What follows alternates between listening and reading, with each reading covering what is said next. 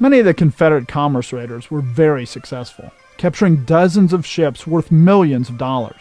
But the most famous of all was the CSS Alabama.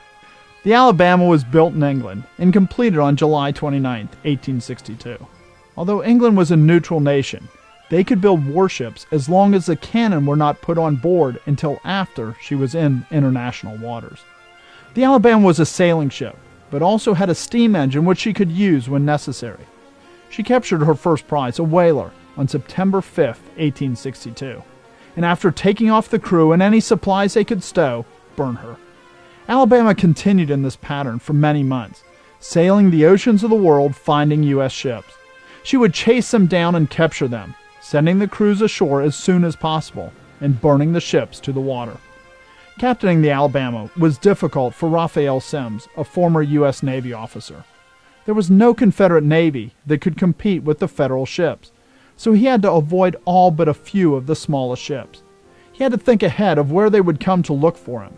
When he caught American merchantmen, many of them had forged documents saying that their cargo belonged to a neutral party which according to international law meant that he couldn't burn them.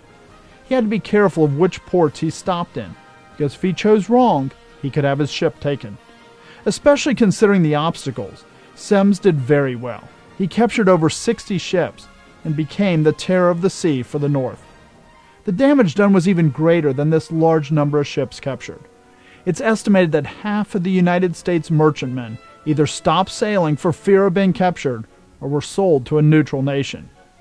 But the cruise of the Alabama came to an end when she put into Cherbourg on June 11, 1864, and the USS Kearsarge caught up. Unable to escape, Semmes decided to give battle.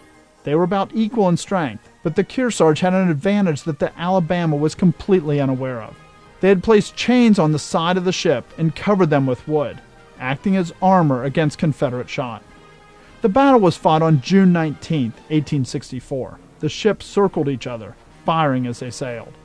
The Confederates fired rapidly, but inaccurately. The crew was not experienced in firing, and they didn't achieve many hits. Their gunpowder was also faulty for having been kept too long, and one serious hit on the Kearsarge did not explode. The Kearsarge's shots were much more accurate. Tearing below the waterline, the Alabama began to fill. Finally, after an hour, it was clear that the Alabama would sink, and Semmes raised a white flag. Forty Confederate sailors were killed or drowned. Only three were wounded on the Kearsarge. The North rejoiced when they received the news that the feared raider had been sunk. Although the Alabama had not been able to change the course of the war, she dealt American shipping a blow from which it would not recover for many years.